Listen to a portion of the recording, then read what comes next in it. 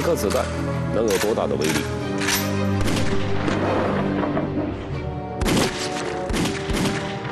它可以是杀人工具，要了人的命；而它也能摇身一变，成了时来运转、得道升仙的帮手。就在二零零四年三月十九日下午一点四十五分，有一个人因为一颗子弹改变了一生的命运。这颗子弹先是让他升官发财，之后又让他走向末路。事情发生在台湾台南，当时正值台湾大选期间，街道两旁站满了人群。在街道中慢行的，是一辆红色吉普车，车上的一男一女正向着人群挥手致意。此二人正是当时台湾当局最高领导人陈水扁及其搭档吕秀莲。那一天是台湾大选前一天，他们来到台南就是为了拉选票。谋求连任的。下午一点四十五分，车行至金华路三段时，二人的脸色突然变了。原来，有人趁着嘈杂的鞭炮声，冲他们开枪。这场枪击案仅仅伤了陈水扁和吕秀莲的皮毛，但是，陈水扁的人生，因为这场枪击案发生了逆转。为什么这么说呢？因为在此之前，陈水扁的民意支持率根本就比不过对手台湾国民党候选人连战。如果没有这场枪击案，陈水扁很可能会在大选中失败。二零零四年二月三日，就在台湾大选前一个半月，台湾立法机构收到了富豪陈友豪给陈水扁的三封公开信。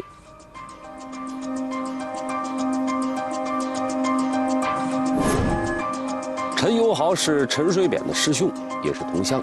当时陈友豪因为欠了银行一大笔债，他还不上，被陈水扁当局列为通缉犯。陈友豪认为这是陈水扁的诬陷，因此刊登了三封信进行反驳。而就在反驳中，他爆出了一个惊天大料，是什么呢？我们一起来看一看。在您从政的历程中，我曾多次捐献经费。一九九八年台北市长选举以及二零零零年大选时，友好有时通过您的亲信，有时亲赴贵府，以现金方式献上政治现金，均无收条。而且据我了解，除了我之外，尚有多位企业家的大额捐款，也以相同方式处理。拿了人家大笔的捐款，却不给人家收条，这就不得不让人怀疑。他所收取的政治现金是否合法了？这件事闹到最后，陈水扁承认自己收受陈友豪所在的东地市企业集团两次政治现金，一共是一千万新台币。但是台湾地区的有关规定表明，每个候选人收取的团体政治现金不得超过三百万。可见，陈水扁收取陈友豪的一千万新台币。早就已经超过了规定的数额。大选过程中出现了这档子事儿，人们自然要向陈水扁讨个说法。然而与此同时，台湾国民党也向外界承认，他们收取了陈友豪一亿元的政治现金，比陈水扁的还要多。可台湾国民党这一举动在民众中间并没有激起多少波澜。人们还是比较重视陈水扁收的那些钱的去向，为什么会出现这种状况呢？这段影像拍摄于三幺九枪击案发生的四年前，也就是二零零零年。那时陈水扁第一次参选台湾当局最高领导人。这段影像便是陈水扁那时拍摄的竞选广告。广告中的包青天形象正是陈水扁自己扮演的。打击黑金，阿扁有决心，让台湾的政治干干净净。这些广告词一出，整个台湾都记住了这个长相斯文的男人。陈水扁也凭借着清廉的形象，顺利登上了台湾当局最高领导人的宝座。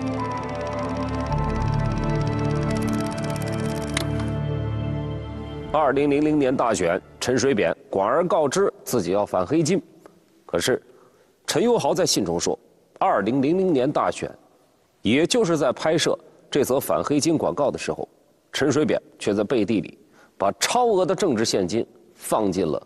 自己的腰包。事情暴露了，陈水扁想要取得连任，除非太阳打西边出来。可奇迹发生了，三幺九枪击案的那颗打伤陈水扁的子弹，赚取了民众的同情。三幺九枪击案发生的第二天，也就是大选当天，台湾媒体对陈水扁进行了铺天盖地的报道，对另一个候选人连战几乎是置之不理。大选的结果可想而知。二零零四年三月二十一日凌晨，台湾大选结果出炉后，天下着蒙蒙细雨。台北八德大楼前，成千上万的人聚集在这里，久久不愿离去。有的人泪流满面，有的人愤怒不平。此时，台湾国民党主席连战出现在人群中，他大声疾呼：“我们准备要提出选举无效之诉。”选举无效，并与支持者们彻夜在此静坐。他们无法接受大选的结果，他们要向陈水扁讨个公道。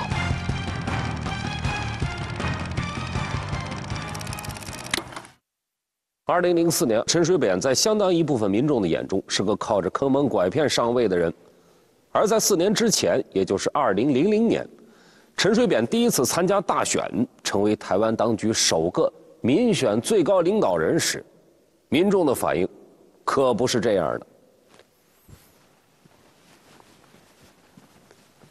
我们来听一听，为陈水扁打造反黑金广告的制作人范可钦。是怎么评价第一次参加台湾大选的陈水扁的？贫穷的小孩，努力的小孩，一直念第一名的小孩，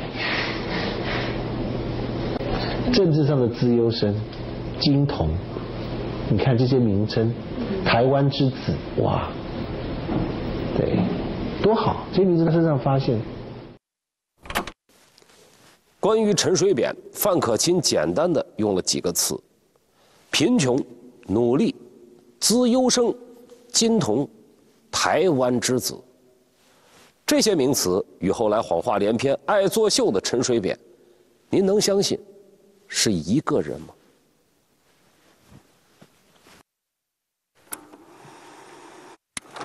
陈永豪形容年轻时期的陈水扁时，用了这么一个词儿。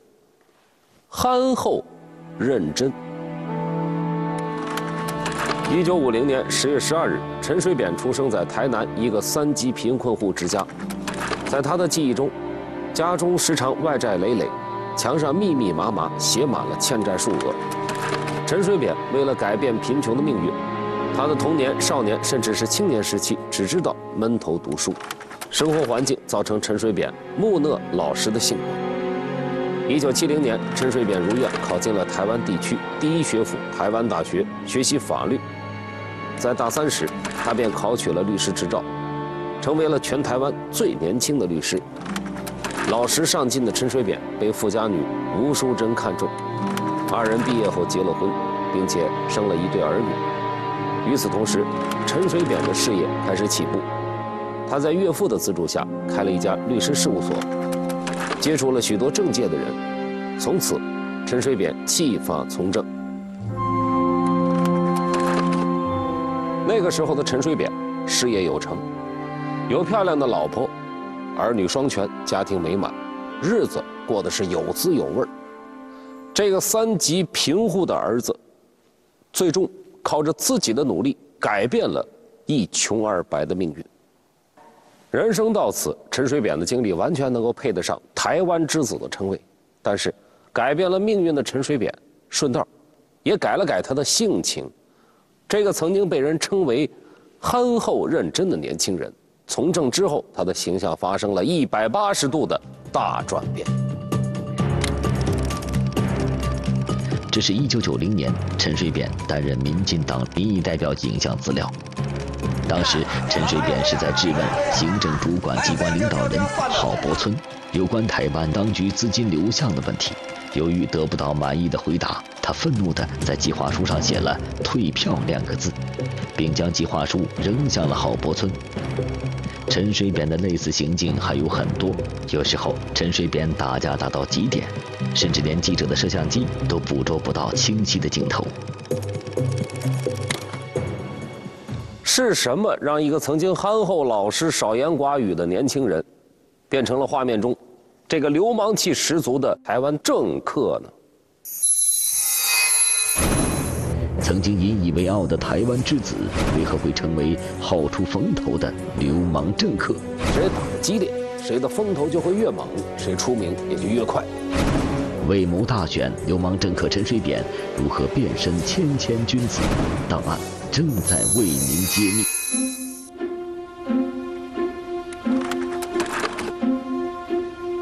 答案之一，便是在这张照片上。这张照片是一九八八年四月七日拍摄的，当时台湾立法机构正在开会，民进党籍民意代表朱高正因为对代理主席刘阔才有意见，便跳上桌子与刘拉扯。就在这个时候，记者拍下了这张照片。这张照片一经发出，朱高正一打成名，他还被封为台湾第一战舰。从此以后，民进党在立法机构开会，便常常是以这种景象收场的，整天打打闹闹，谁打得激烈，谁的风头就会越猛，谁出名也就越快。陈水扁已经加入了民进党，他也逐渐地意识到混迹台湾政界、出风头的重要性。早在两年前，也就是1985年，陈水扁因为蓬莱岛杂志案被判诽谤罪。入狱一年，但是陈水扁心有不甘。为了抗议，他在全台湾到处演讲，抗议判决不公，抗议新闻不自由。他甚至将这个普通的诽谤纠纷上升为政治迫害。他声称，为了抗议司法不公，宁可坐牢也绝不上诉。这件事在台湾地区闹得很大，而当时的台湾社会十分痛恨。台湾国民党当局的统治，陈水扁整日丑丑哒哒，一副受害人的形象，赢得了社会的同情。从此，陈水扁成为了台湾政治界的一颗新星。蓬莱岛案件已经让陈水扁看得明白了，在台湾的政治界，出风头比蛮干苦干能够吸引更多的眼球，成功和名利来的会更快些。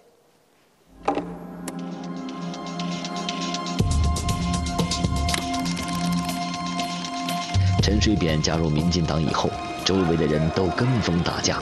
陈水扁一心想在仕途上走捷径，他也改变了一贯少言寡语、木讷老实的形象，开始跟着有样学样。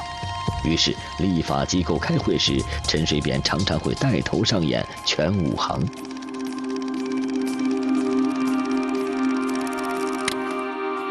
但是很快，这种打打闹闹的方式不好使了。台湾立法机构的开会方式引起了国际的注意，一些外国杂志甚至开始刊登台湾立法机构的肉搏故事，这丢人都丢到国外去了，台湾民众可就不高兴了。陈水扁呢，也知道适可而止，他开始琢磨着，什么样的从政者才能让民众喜欢呢？此时，时间已经进入到一九九八年。这一年，陈水扁连任台北市长的竞选失败，他决定参加两年后，也就是二零零零年的台湾大选，直接参选台湾当局最高领导人。为了此次参选，陈水扁可谓费尽了心机。他用一年时间游历各国，美其名曰学习之旅。当陈水扁重新站在竞选台上时，整个人焕然一新。以前常常动手爆粗的阿扁不见了，取而代之的是一个温柔稳重的男人。这期间，到底发生了什么呢？使陈水扁的形象发生改变的重要人物，就是我们前面说的制作反黑金广告的范可钦。他是著名的广告达人，当时是里奥贝纳广告公司的创意总监。陈水扁为了给自己重塑良好的形象，一九九九年，他邀请范可钦帮助自己制作二零零零年台湾大选的竞选广告。广告达人范可钦给陈水扁带来了什么样的变化呢？我们一起来看一看。除了我们之前提到的反黑金广告，范可钦还为陈水扁打造了其他广告。在这些广告中，陈水扁的亲戚邻居纷纷出场，力挺陈水扁。在广告中，这些人都是台湾的普通人家，他们的出场正是为了台湾国民党候选人连战和宋楚瑜相比较。陈水扁贫寒的出身，成就了一种天然的亲民优势，而他还有另一个优势，就是他的妻子吴淑珍。吴淑珍在一九八五年十一月十八日遭遇了一场车祸，导致下半身瘫痪。这本是一个悲伤的故事，但是陈水扁却把它当做自己晋升的一个砝码，拿来反复渲染。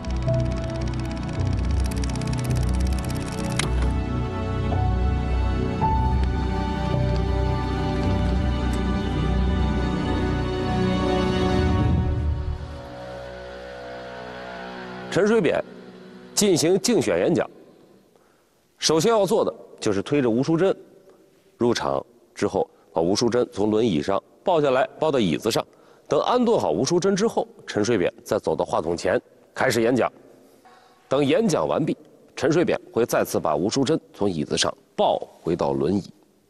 场面感人至深，不仅感动了台下的群众，也时常会感动他的竞争对手。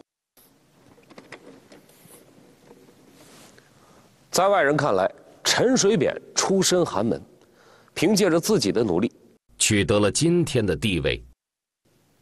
他说话朴实，没有架子。在拥有了一番成就之后，对于瘫痪苍老的妻子，依然不离不弃。陈水扁塑造了一个好男人的形象。他一路从民意代表晋升为台北市长。就在2000年，这个时常推着轮椅的陈水扁。这个被包装成好男人的陈水扁，忽悠了整个台湾，他成为了首个非国民党籍的台湾当局的最高领导人。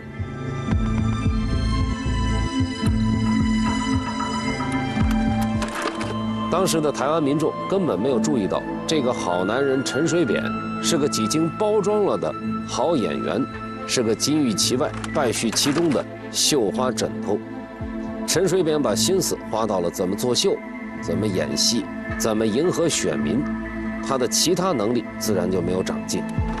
一个很明显的例子，这张照片上那个安装了铁栅栏的地方，人从里面交钱的可不是银行的柜台，而是高雄的一家小超市的收银台。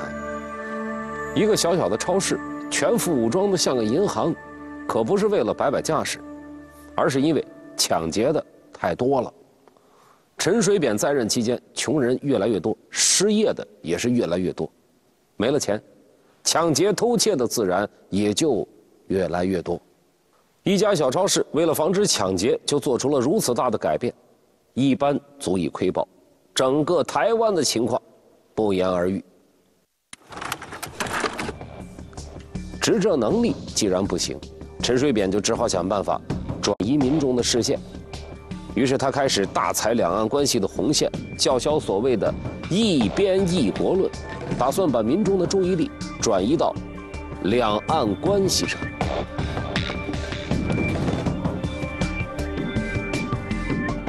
一边一国论”遭到了大陆的强烈反对，两岸关系降到了冰点。但是，陈水扁并没有就此罢手，他们删改教科书，删掉了中国历史的很多内容。甚至删去了南京大屠杀的内容，增加了台湾史。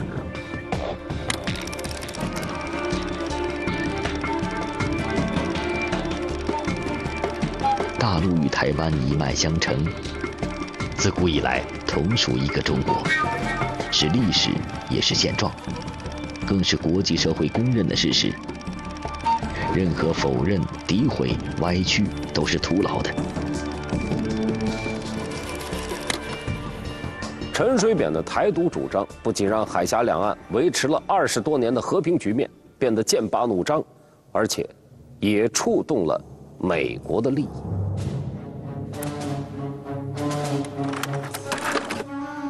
二零零四年十月二十五日，美国国务卿鲍威尔在接受中国媒体采访时明确反对台独。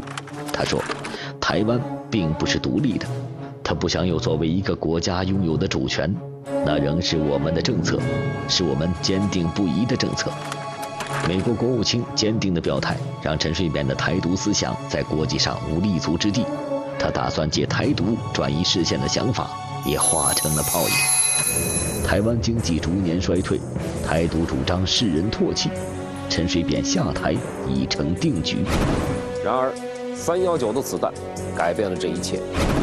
金钱、权力。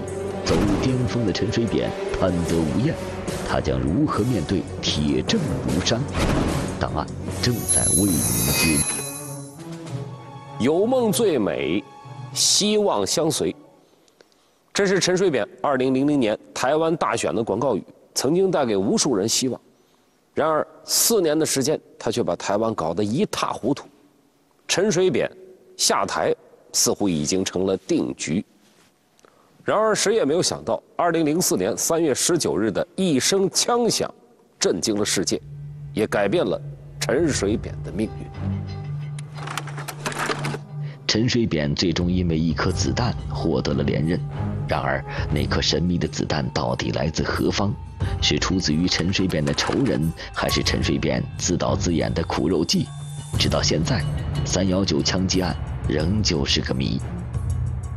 但是三幺九的那颗子弹，却让陈水扁暂时博取了台湾民众的同情，让他取得了连任。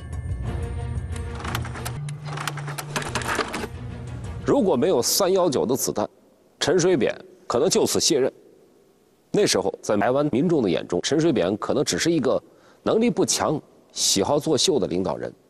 然而，三幺九的子弹改变了这一切，陈水扁。赢得了大选，走入了人生的巅峰。与此同时，他，也坠入了末日的深渊。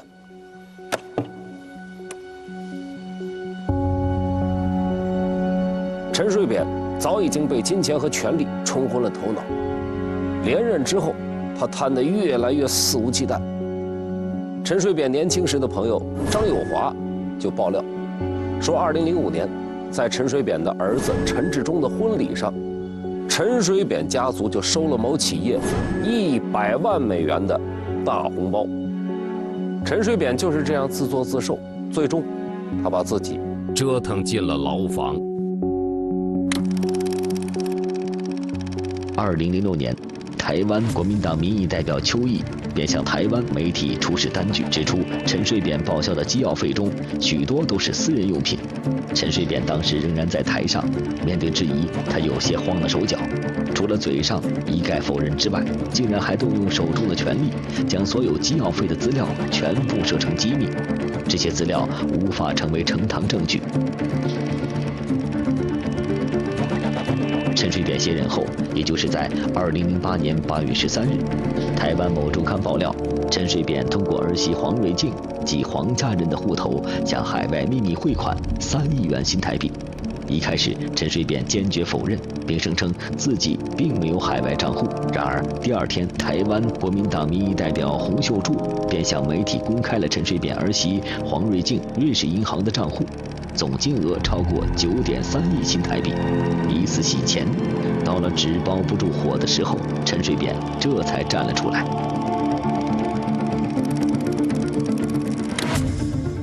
二零零八年八月十四日的下午，也就是台湾国民党民意代表洪秀柱拿出铁证的当天下午，陈水扁召开了记者发布会，他对此怎么解释呢？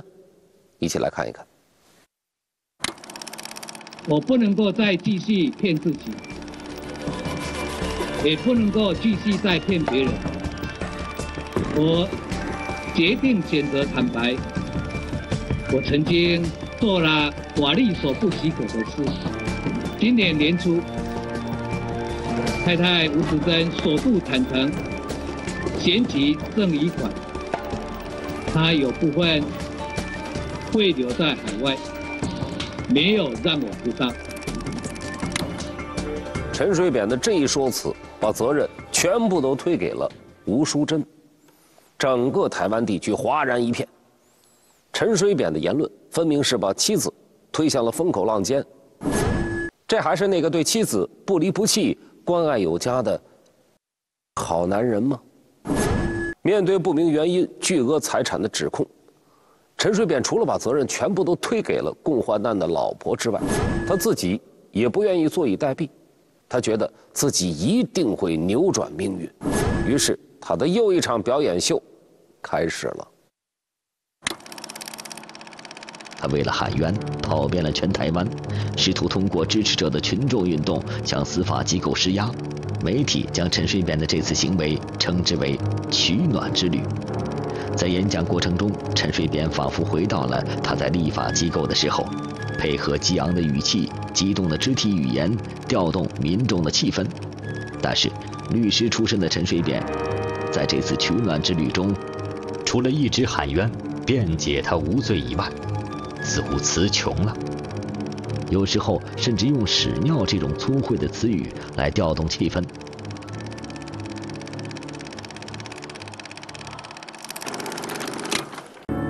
陈水扁的这次行动与二十多年前。蓬莱岛案件的处理反应如出一辙，从抗议司法不公入手，把自己塑造成了被政治迫害的悲情英雄。只不过，这次收到的回馈却大相径庭，因为此时陈水扁的盟友们早已经站在了他的对立面。这一幕发生于陈水扁卸任前两年，也就是二零零六年九月十五日。成群身着红色上衣的人站在陈水扁官邸前，将街道围得水泄不通。他们整夜整夜地高喊着“阿扁下台”，群情激愤。这些人被称作“红衫军”，带头人正是民进党前主席施明德。施明德曾经为了大力支持陈水扁参加2000年的大选，修改了民进党党章。陈水扁的贪污行径被暴露后，施明德愤而退出了民进党，并发动了红衫军倒扁。支持红衫军的队伍中有不少是陈水扁的支持者和曾经的战友，其中就包括为陈水扁量身定做竞选广告的范可钦。此时此刻的陈水扁，四面楚歌，众叛亲离，台湾之子成了台湾之耻。陈水扁的政治生涯走到了末路。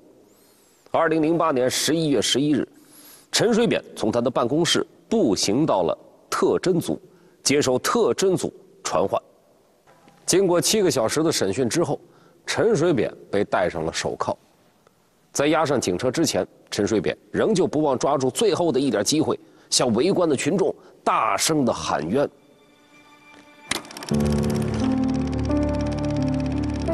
前面的，哎，前面的，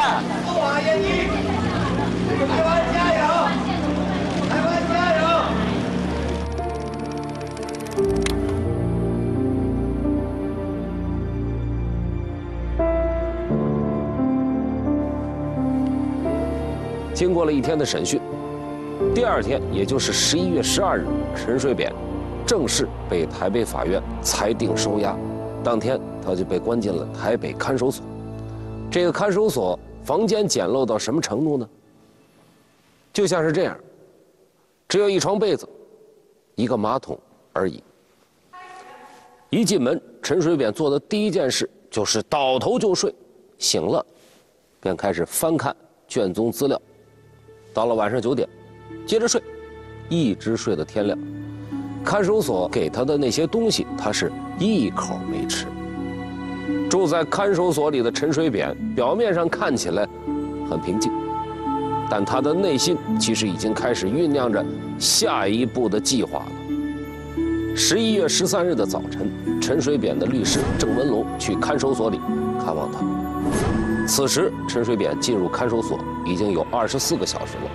在这个期间，他除了喝水，东西是一口都没有吃。见到自己的律师陈水扁，马上通过律师向外界传达讯息。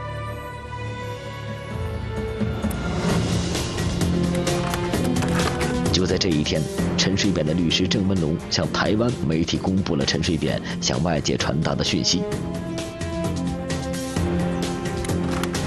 到一天，大大小小的网站上便发出了许多篇关于郑文龙会见陈水扁的报道。上面说明了陈水扁进食的十点理由，十点理由包括：挨司法已死、到民主退步、甘愿为台湾做黑牢等等。关在狱中的陈水扁开始用作践自己的身体这一招来博取大众的同情。窗之下，陈水扁绝食郊区。陈水扁的这场绝食，在众目睽睽之下。该如何收场？绝食不成，又添新招，是作秀还是抑郁？您可以想象一下，自己怎么能勒死自己呢？档案正在为您揭秘。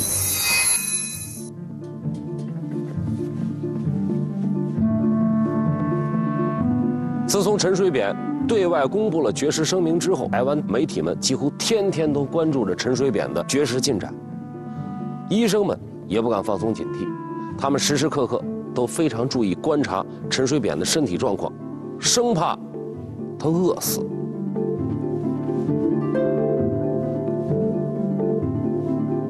陈水扁呢，也继续摆出一副要不放人就将绝食进行到底的姿态。但是，当绝食进行到第五天，陈水扁有点忍不住。陈水扁感觉到。自己的身体因为绝食出问题了，吐酸水不说，浑身的酸痛、胸闷，他马上就把这个情况报告给了医生。台北看守所的工作人员可不敢马虎，当晚看到陈水扁的身体状况依然没有好转，看守所决定将陈水扁送入医院。经过两天的治疗，陈水扁身体好转。被再次送回到看守所，回到牢房，陈水扁依然拒绝吃饭，每天除了看看卷宗，便是写写画画。当然，他也不忘每天告诉医生自己哪里还不舒服。绝食到了第十四天，也就是十一月二十五日，陈水扁的一个朋友来看望他，两个人先是说了一会儿话，之后这位朋友拿出了纸和笔，陈水扁说一句。他记一句，足足写了有一页纸，其中有这么几句：“我的诉求没有获得重视，我不再等待，我很累，我要休息，我要永远的睡去，再也不要醒来。”话说的矫情，意思却非常明白，字里行间里透露出陈水扁决定赴死，但没想到第二天事情却出现了。大逆转。第二天清晨，看守所的医生照例为陈水扁检查了一遍身体，照例是劝说一番。陈水扁照例是拒绝吃饭。这一天早上，医生还特意给陈水扁端来了一碗稀米汤，因为在这之前，陈水扁曾经反映说自己的胃有胀痛的现象，所以医生就给他准备了西米汤。并且告诉他说，喝这个能够缓解你胃胀痛的现象，能让你舒服一些。当时呢，陈水扁也没什么表示。可在医生走了之后，只见陈水扁端起眼前那碗西米汤，把它给喝了。从那天起，陈水扁就恢复了正常的饮食，他好像根本就不记得他曾说过的那些视死如归的遗言。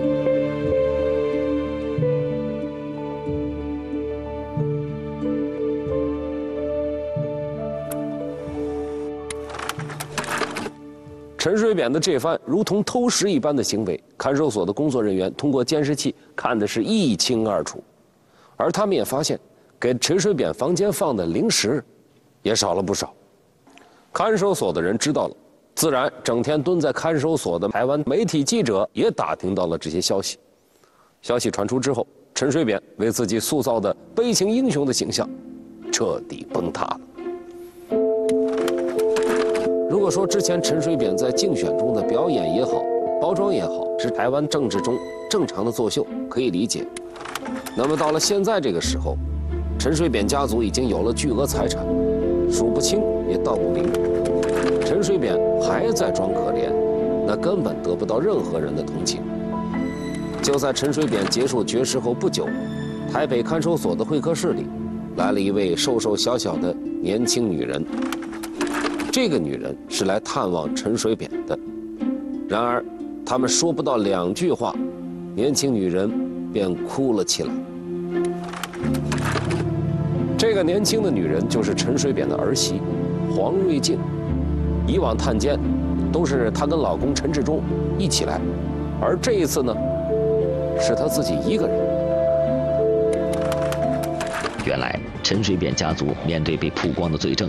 起初，他们的反应是，先推出不可能坐牢的残疾人吴淑珍，让她顶下所有罪名。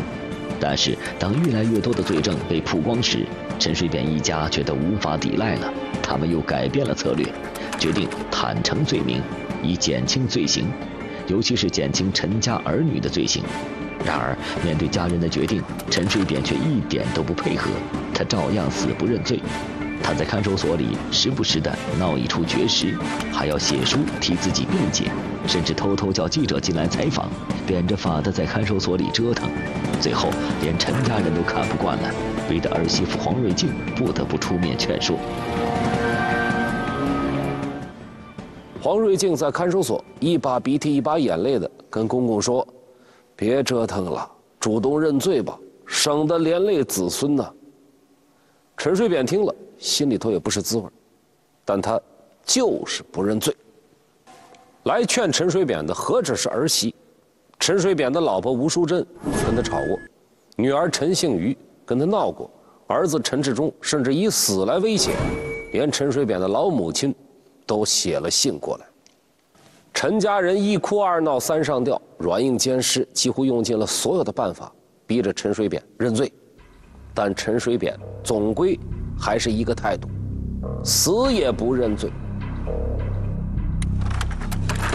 二零一零年十一月十一日，台湾地区所谓最高法院就陈水扁弊案中的龙潭购地弊案和买官案进行终审判决，陈水扁被判刑十一年。但这只是其中的两项案件，陈水扁弊案的审理还远远没有结束。二零一零年十二月二日。陈水扁转到了台北监狱，正式开始服刑。但是，即使被判刑，即使一大堆罪证都摆在了桌面上，陈水扁还是不认罪。他到底还在想什么呢？陈水扁曾经在他的书《台湾的十字架》中说起狱中他做的一个梦，他梦到自己再次当选为台湾当局最高领导人。在别人的眼里，这只不过是一个梦。可陈水扁不这么看，在这本书中，陈水扁还认认真真的规划了一下他再次当选之后要执行的政策。不仅如此，陈水扁把自己在看守所里的编号二六三零也拿出来说事儿。他说，这次编号是二六三零，二是再选，六代表大顺，三是指三任，三任什么呀？任台湾当局最高领导人。有一就有二，有二就有三，无三不成礼，这样才算圆满。这或许就是陈水扁一直抵死不认罪的原因。他仍旧做着东山再起的春秋大梦。有台湾媒体对他的这一行为进行评论说：“谁都知道陈水扁大势已去，他自己不承认而已。头壳坏去了，头壳坏去。”是当时台湾媒体对陈水扁的讽刺，可没想到几年后，竟然一语中的。二零一三年一月三十日，台湾媒体曝光了一段陈水扁的视频，视频中，陈水扁与之前相比，判若两人。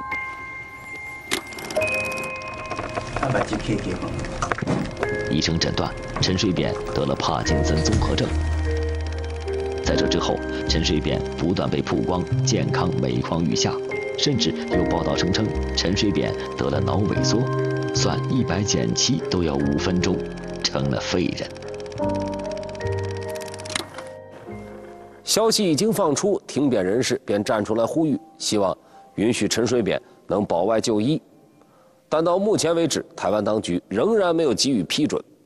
习惯了表演的陈水扁，这回是真的还是假的呢？二零一三年六月二日，已经被移监台中监狱的陈水扁再次自杀。这次自杀，除了全球的华人媒体进行了报道外，国外的很多重要媒体，比如说《纽约时报》、路透社，还有美联社等等，都进行了报道。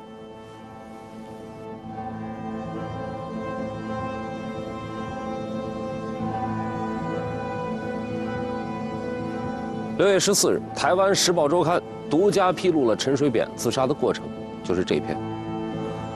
扁这次真的是想出自杀的法子，利用浴室里可用的毛巾当工具，三条毛巾互绑结成一个圈，悬挂在距离地面约六十四公分的水龙头上。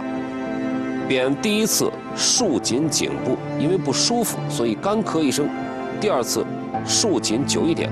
才会有呕吐声，惊动了看护和主管。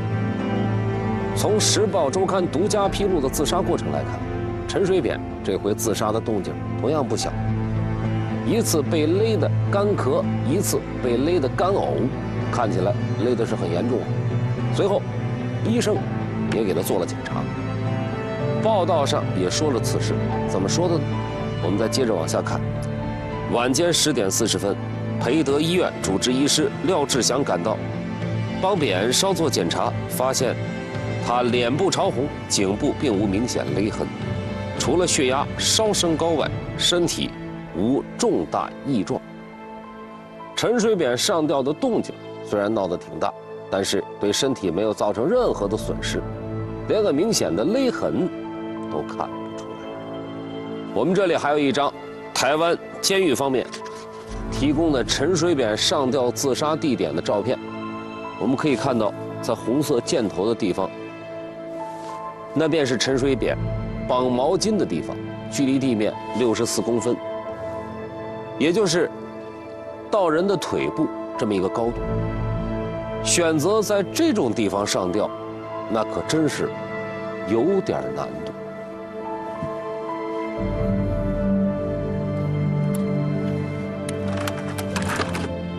怎么自杀呢？《时报周刊》画出了监狱看护和主管发现陈水扁自杀的情景，就是这幅：陈水扁平躺在地上，双手用毛巾交叉勒住了颈部。这种方法就等于是用自己的手在勒自己。您可以想象一下，自己怎么能勒死自己呢？结果往往是还没等勒死呢，手就已经没劲儿了。据统计，在此之前，陈水扁在狱中曾经四次自杀，除了刚入看守所的那次绝食以外，还有两次绝食和一次撞墙。除了撞墙那次，监狱方否认以外，其余的三次绝食都有大规模的报道。只不过，每一次，陈水扁都是半途而废。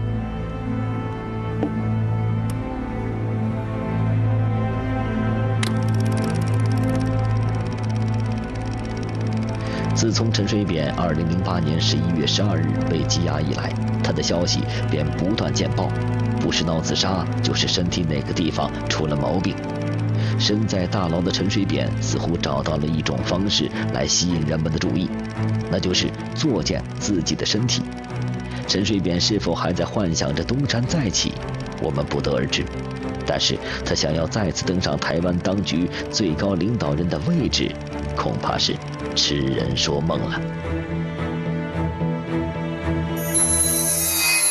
骄横、无理、歇斯底里，台湾当局前领导人陈水扁之女陈幸瑜为何在媒体镜头面前屡现黑脸？据说有个老师在教室里当众把陈幸瑜叫起来，批评他的爸爸是坏人。从出身名校被众星捧月，到伪证风波官司缠身。陈水扁之子陈志忠的人生又为何高开低走？陈水扁用特权惯着陈志忠的恶果，还是那句老话说得好：“惯子如杀子。”从权力之巅到阶下之囚，陈水扁洗钱案东窗事发，一桩桩丑行使舆论将曾经的家庭推向了怎样的境地？陈水扁的孩子又将面对怎样的人生抉择？从官场到商场，从民企到国企，他肆无忌惮地捞取好处。面对扁家弊案背后的种种利益纷争，陈氏姐弟之间又产生了怎样微妙的变化？档案为您揭秘：扁家弊案，一双儿女不能承受之痛。